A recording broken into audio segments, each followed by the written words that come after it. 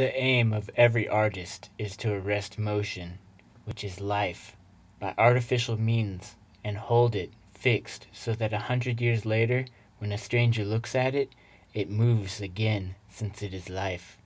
That's a quote by William Faulkner. My name is Leighton Yuma, and I'm going to show you custom motion trail effect on Photoshop. I hope you enjoy.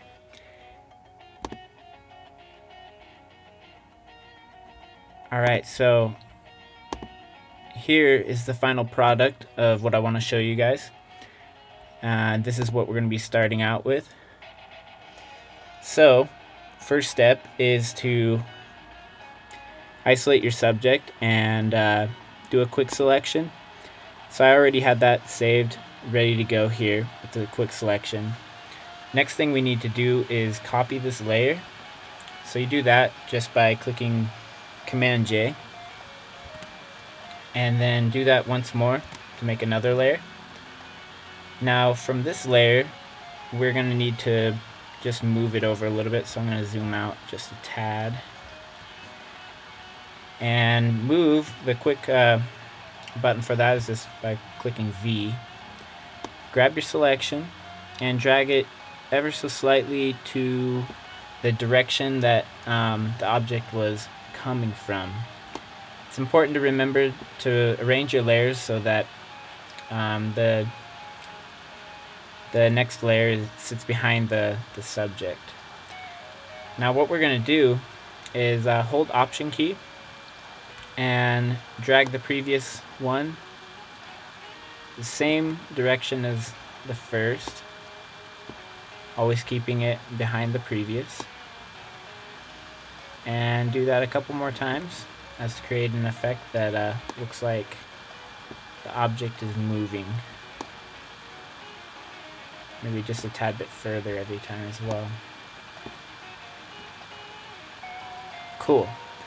So now, when you feel like you have everything in the right place, we can begin to um, change the lighting on it. So for this one, we're going to do a soft light. And since that's the last one, we want to have a pretty low opacity, probably around 40. Uh, the next one, we can do probably about 20% more. So we'll go for 60 the next one, same thing. Soft light. Past the... Let's go 80 on this one. And then the uh, top one, we'll just do uh, soft light with the opacity set at 100. And there you have it. We have the the motion blur there. Now all that's left is uh, oops, you just need to flatten your layers, or flatten your image, so all the layers uh, combine, and then save it the way that you'd like, and voila, we're done with a custom motion trail effect.